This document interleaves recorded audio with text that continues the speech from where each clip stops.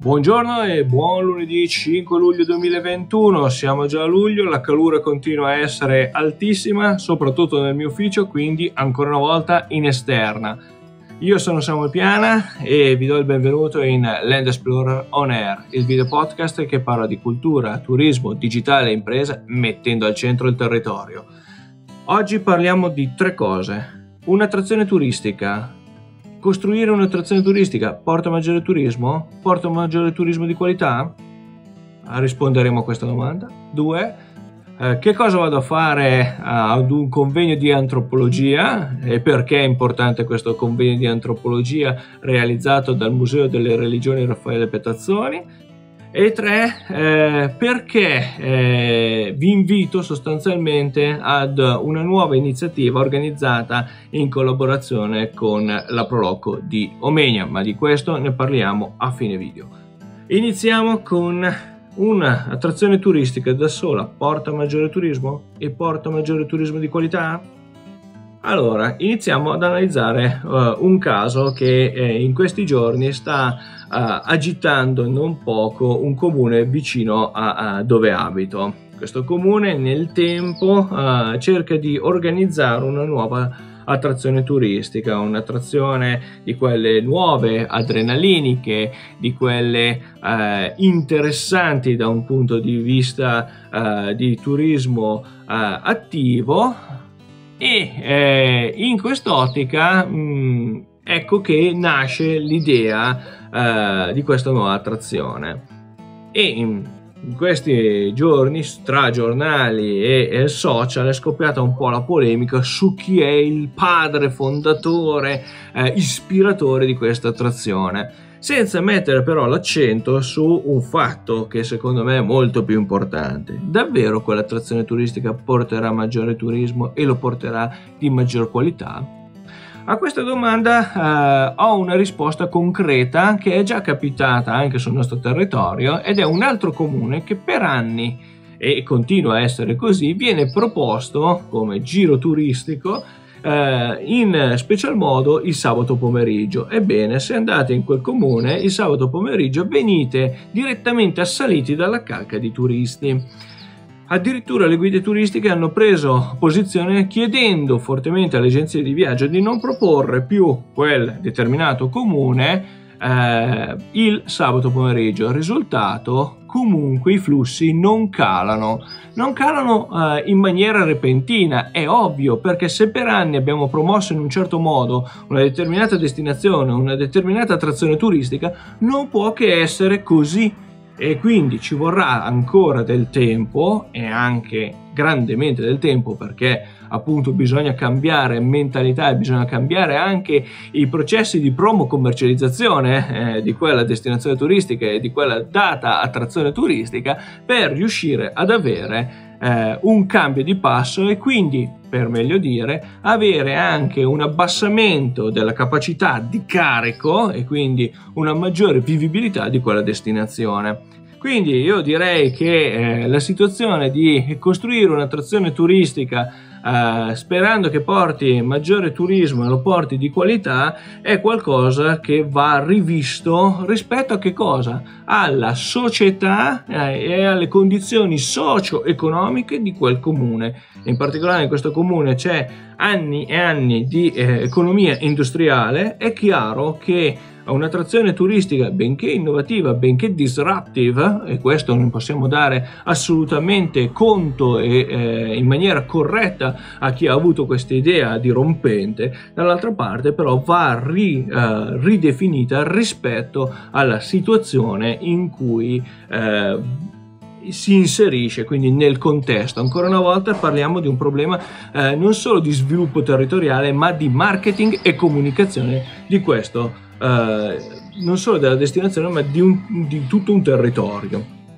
Due, cosa vado a fare a Dalbano Laziale, anzi Nemi, vicino Roma, a un convegno di antropologia? Ebbene, eh, l'esempio è calzante. Se un'attrazione turistica disruptive non è detto che porti risultati, di certo invece andare a scovare e i motivi più interni ad una comunità su cui eh, sviluppare nuove leve è invece qualcosa di molto utile. Non per niente io dico sempre è importante sapere il perché una persona si muove prima ancora di sapere quanto spenderà o che cosa andrà a fare su quel determinato territorio. Perché si muove. Il perché si muove è un perché antropologico, è un perché eh, che eh, si connette alla psicologia del, eh, del turista eh, perché magari è un oriundo di quel determinato territorio, perché lo sta eh, studiando eh, sotto una lente che è quella del turismo sportivo, il turismo attivo oppure del turismo culturale. Ecco che allora diventa importante conoscere il perché eh, e questo spesso viene un po' sottovalutato nelle invece indagini di marketing territoriale costruite perfettamente questo è il passaggio e quindi cosa vado a fare a Roma? Vado a parlare di lupi. Cosa c'entrano i lupi? C'entrano, c'entrano perché nell'area cusiana, se parliamo uh, di antropologia, ci troviamo di fronte ovviamente al santo che scaccia i draghi, al santo che scaccia i serpenti, parliamo di San Giulio, San Giuliano ma è interessante notare come anche un'altra fiera particolare, un'altra belva particolare, il lupo, eh, entra eh, nel mondo cusiano eh, della eh, sociologia, dell'antropologia cusiana in maniera sicuramente meno preponderante ma molto presente, tanto che ad esempio um, a Forno si fa eh, la messa del lupo ancora oggi durante la festività di San Valentino. Sì, il, santo degli innamorati è anche il santo che eh, protegge dai lupi. Eh, oppure si va a vedere il bel eh, affresco di Giorgio Bonola eh, che rappresenta il miracolo di, ehm, di, San Giulio e San Giuliano che assoggettano la belva dopo che questa si è eh, sbranato un, un bue ma non solo, Rassa, eh, il comune di Rassa che ha al suo interno, eh, proprio nello stemma, un lupo che eh, ha nelle eh, sue fauci un eh, bambino eh, in fasce e che riporta tutta una storia, una leggenda molto particolare di, ehm, di, di fondazione del comune. Insomma, eh, andiamo ad analizzare con la lente di ingrandimento degli aspetti particolari, oppure come il comune di Omegna che viene soprannominato, gli abitanti del comune di Omegna vengono soprannominati Luf, perché? Eh, perché a metà del Settecento, ce lo racconta bene Nino Bazzata Vemegna, eh, Omegna ha una disputa in particolare con la Vallestrona su tutta una serie di tasse che venivano pagate eh, per, ehm, per, avere dei servizi, eh, in particolare dalla pieve madre Omegna verso la, eh, le, eh, le, parti più periferiche eh, del, della Vallestrona. Infine vi invito già ora, già da ora, ad una uh, camminata che si chiama intitolata Omegna ieri oggi, che è organizzata in collaborazione con la Proloco di Omegna, sabato 17 luglio le prenotazioni passano attraverso Land Explorer, quindi attraverso la mia persona.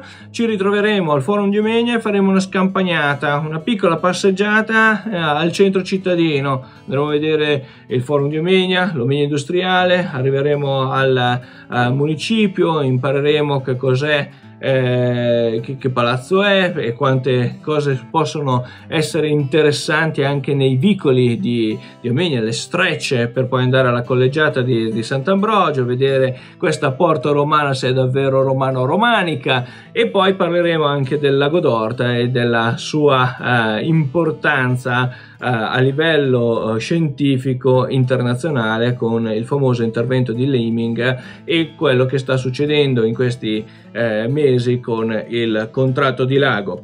Bene, eh, ci diamo appuntamento a lunedì prossimo, eh, ricordatevi di mettere un like, un mi piace, di iscrivervi al canale. A lunedì prossimo!